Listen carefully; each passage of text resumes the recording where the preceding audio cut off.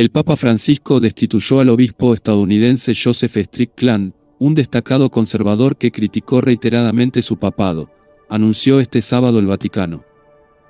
El Santo Padre destituyó a Joseph Strickland del gobierno pastoral de la diócesis de Tyler, en Estados Unidos, anunció el Vaticano en un comunicado.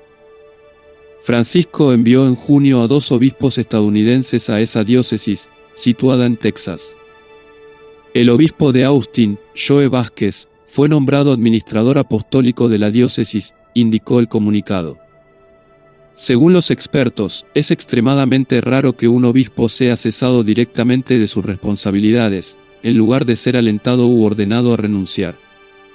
En una nota de blog publicada en su web en septiembre, Strickland respondió a los rumores de que el Vaticano lo instó a renunciar. No puedo renunciar a mi cargo de obispo de Teilar, porque equivaldría a abandonar el rebaño a mi cuidado, escribió entonces. También he declarado que respetaré la autoridad del Papa Francisco, si me destituye de mis deberes como obispo de Tyler, añadió. Strickland no hizo comentarios inmediatos sobre su destitución, que se anunció el sábado cuando aún era temprano en Estados Unidos. En septiembre escribió en su blog, Amo a Jesucristo y a la Iglesia Católica que él fundó. Mi único deseo es decir su verdad y vivir la voluntad de Dios lo mejor que pueda. El Vaticano no especificó que desencadenó la inspección apostólica de junio ni a qué conclusiones llegó. Strickland escribió que los dos obispos habían pasado una semana realizando entrevistas sobre la situación en la diócesis. El obispo tejano, nombrado por el predecesor de Francisco, Benedicto XVI en 2012, es uno de los críticos más destacados del Papa argentino. El pontífice de 86 años intenta que la Iglesia sea más abierta a diferentes puntos de vista.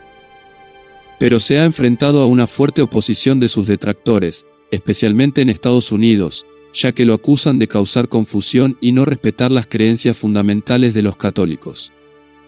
En un mensaje publicado a principios de año en la red X, Strickland acusó al Papa de socavar el depósito de la fe. Muchos de sus críticos acusan a Francisco de no ser lo suficientemente firme en el tema del aborto y de mostrar demasiada tolerancia hacia los gays y los divorciados. Durante una reunión de los jesuitas en Lisboa, Francisco lamentó la actitud fuertemente reaccionaria de algunos católicos en Estados Unidos. También declaró que volver al pasado es inútil y que es necesario entender que hay una evolución apropiada en la forma de abordar los temas de la fe y la moralidad.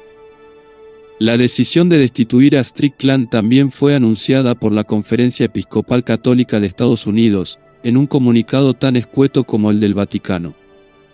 La diócesis de Tyler tiene más de 120.000 católicos de una población total de más de 1,4 millones de habitantes, según la conferencia. ¿Qué te ha parecido esta decisión por parte del Vaticano? Mientras expulsa a obispos que buscan enseñar la verdad, se promueven a sacerdotes y cardenales modernistas que ya no ocultan estar a favor de las nuevas corrientes del mundo.